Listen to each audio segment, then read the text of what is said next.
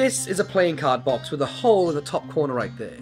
This is a pencil with a nib that just so happens to be big enough to fit through the hole in the card box. In case you didn't think this was a real hole, I can very much assure you that it is. Now watch, I close the lid on the card box, keep your eye on the box, keep your eye on the pencil, keep your eye on the hole. Watch as that hole begins to visually move all the way down to the very fabric of the card box itself. In case you didn't think the hole was real, again you can see straight through it. Very much real. Just as easy as it moves down, we can move it all the way back to where it once began, just like this. If you want to learn how to make this yourself at home right now, because to be honest with you, the secret is much better than the trick itself, then all you need to do is stay tuned for the rest of the video. Welcome to Tutorial Tuesday. My name's Lloyd, and if you've been following the channel for the past year, you'll know that every single week, without fail, I upload brand new tutorials teaching you some of my unique and original magic creations. And as a subscriber, you'll notice that there's certain tricks that I just love a lot more than others. One of those types of tricks is called the moving hole plot.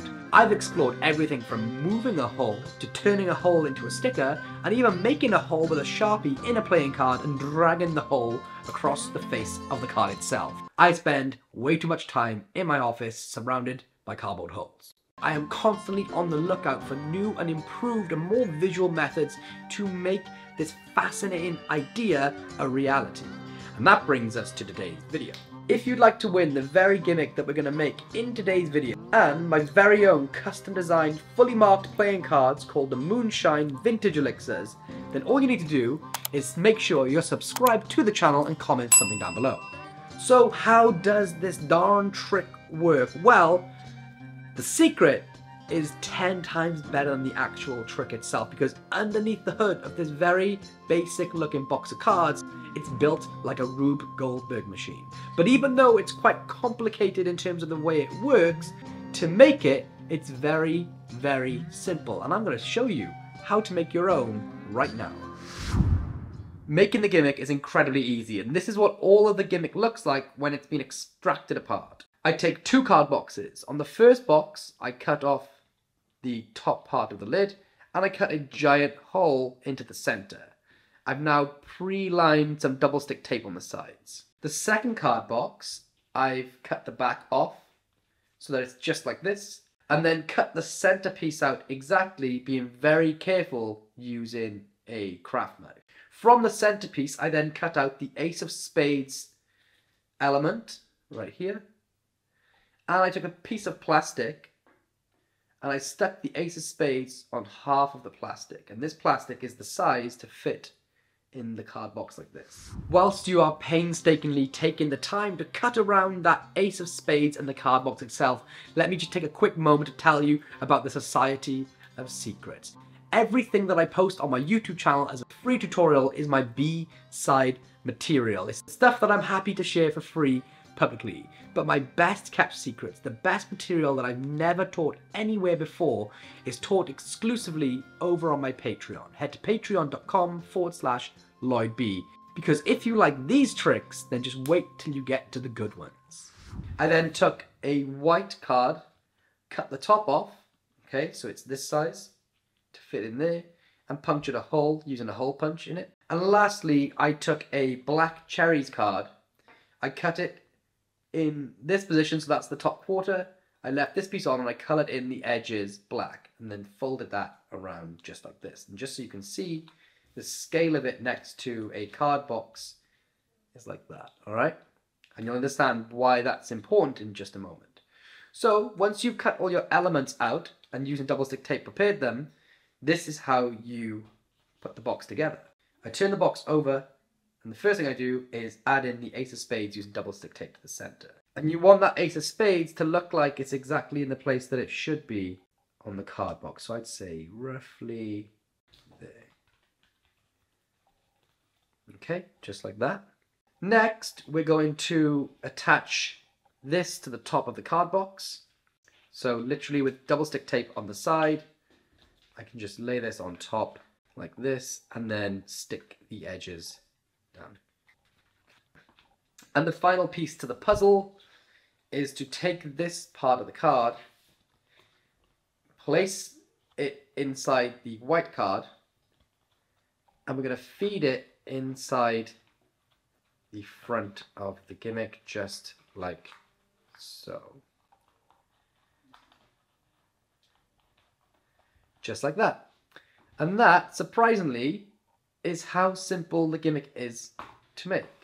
The surprising thing about this effect is that it's very, very easy to perform once you've made the gimmick. So let me run you through how to do that right now. You don't even actually need to wear a black t-shirt to use black art because you can position your hand just to cover the bottom of the box. I just added the black art thing as an extra convincer, especially for video. But this is what happens. Basically, you're set up with everything squared in, the box closed, and the hole moved as close up and as high up as the box on the box as you can. So now you just begin by showing the hole, showing the pencil, and opening the box to let everyone see that it's a real hole by moving the pencil inside. Now that you sort of know how this works, you know that it is a genuine hole.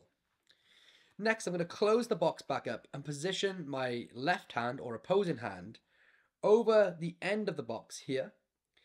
And I'm going to play, so it's in like an overhand biddle grip and I'm going to allow them to sort of see through to my black t-shirt if we're going to use the black art method. Then very simply, I want the hole to be towards the audience. I place the nib of the pencil in, or you could use another object. And I literally, and this is the exposed view, I just move the hole down. And you don't want to go too far, otherwise this envelope is going to open if you are using the black art option. So you go down as far as you can and just try to sort of gauge and know your own gimmick to see how far you can get to. For me, it's around here. And that's with a bicycle box anyway. So once I'm at the point of where I can't go any further, okay, I can come up, I can show again, and look how convincing this is. Because my hand's over it, which creates even more shadow, it's even more darker. I can reach inside, show them that it's a hole, and this just ironically this dispels any notion that you're using black art because they can see through the hole not realizing the black art is down here. Then quite literally i just move the hole back into position but you'll notice the envelope doesn't come back with it because it's now free from the envelope section itself. Uh, and so so from this point again i can show it's real. Of course my hand is always in this position. I show it's real. I can close the lid and then there's a few different things you can do, uh, but the main one that I like to do is just to, as I'm coming down to close the lid, sorry, I can just cover it with my hands. And because it's black art, you're not going to worry about flashing. And I can just square this in to the box as I close it up. And you'll notice that when it does square in, it'll tend to push the hole up. So what you can do is close everything together, take a look at the box yourself, and then if you need to, you can just move that hole into the right position so you can show where it is. So from the top, very, very simple. Here's a box, here's a hole, here's a nib of a pencil. Go inside, show the hole's legit, place your hand here, slide the hole as far as it'll go, show that it's real inside, slide it all the way back, and then square everything in. And that's the surprising simplicity behind how to perform this trick. So remember folks, if you do want to win my Moonshine playing cards and the gimmick that we just made in today's video, then remember to comment something down below and subscribe to the channel. If you've already done that and you're a new subscriber, then I recommend checking out this video next before binging the rest of the channel. And if you want to learn my best secrets, my exclusive tricks that I've never taught anywhere else, then head over to patreon.com forward slash Lloyd B and join the Society of Secrets today.